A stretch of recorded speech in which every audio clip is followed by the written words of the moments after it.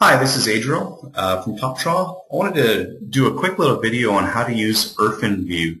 It's this uh, handy little application that you can use to edit images.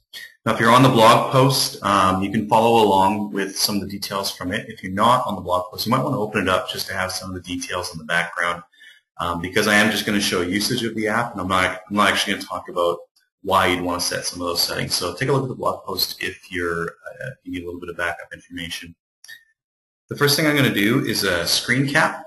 I have a little shortcut to IrfanView down here in my start menu. Some people like to put it as a desktop icon. Do whatever you want to. I've got it as uh, in the tray at the bottom here.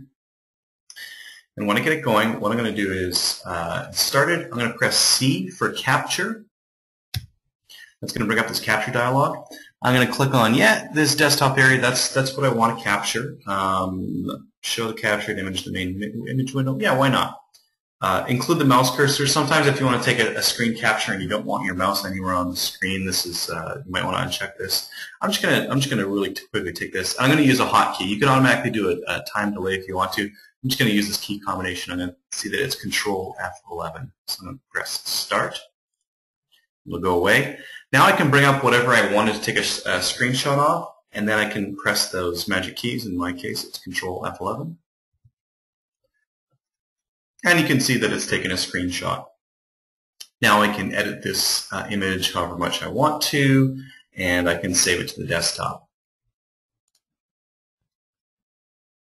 Next, I wanted to show how to crop an image. Now I have an image on the desktop here. It's just something really quickly I, I took with my camera phone, so it's not the greatest quality, but it'll it'll do for, for what we're doing today. And what I'd like to do is just crop out this TopDraw sign here. I don't really need all this other stuff from our reception area in this image. To crop the image, select the, image, the area that you want.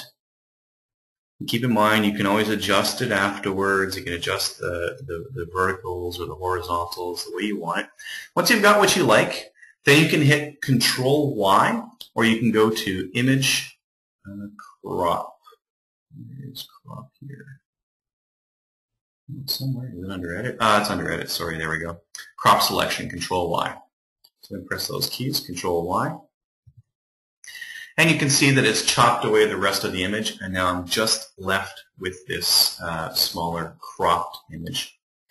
Now, I'm kind of going to do a combo here. I'm also going to resize it at the same time. We can see right now that it's 462 pixels wide. Now, if I were to put this into a blog post, I maybe, maybe that's a little bit too big. Maybe I only want it to take up half of the room or less. So I'm going to go ahead and resize this down. And the way I'm going to do that is by pressing Control R for resize. Again, you can also go to Image, and I think this was in here. There it is. Uh, resize or resample. I'm going to press Control R because I like using the key the key combinations. They're a lot faster. And now I get to, to pick how I want to resize this thing. I'm just going to resize it based on the width because that tells me how much of the how much of the blog post area it's going to get. I'm going to go down to 200. You can see that the program automatically figures out what height it needs to be, so it's not going to be squished one way or the other. It's going to it knows uh, to keep that aspect ratio. That checkbox down here that says preserve aspect ratio, it'll keep it so it's not squished one way or the other. I'm going to hit OK.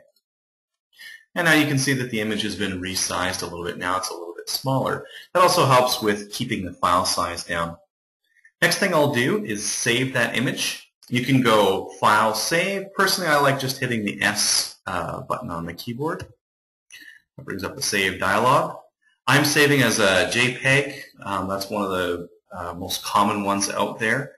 Um, and that's pretty much all I do is, is I just save it as a JPEG, and I'm, I'm going to call this TopDraw Sign 2. I'm using that. Uh, I'm using a different file name just in case I need to go back to that original, uh, just to take a look or to um, edit it in a different way. And that's it. So that's editing using IrfanView. Um, if you have it set up to automatically open your images um, you can also use it to uh, browse through multiple ones. Oops, I'm going the wrong way here. So you can, and you can use that with your left and right keys on your keyboard. So you can see there, it's it's a really quick way of browsing through images. You can go full screen with Enter. If you get stuck in this screen, just hit escape on your keyboard and you'll go back to regular size. So that's a real quick demo. If you have any questions, just uh, shoot me a, uh, an email or, or put a comment on the blog post and I'll be happy to help.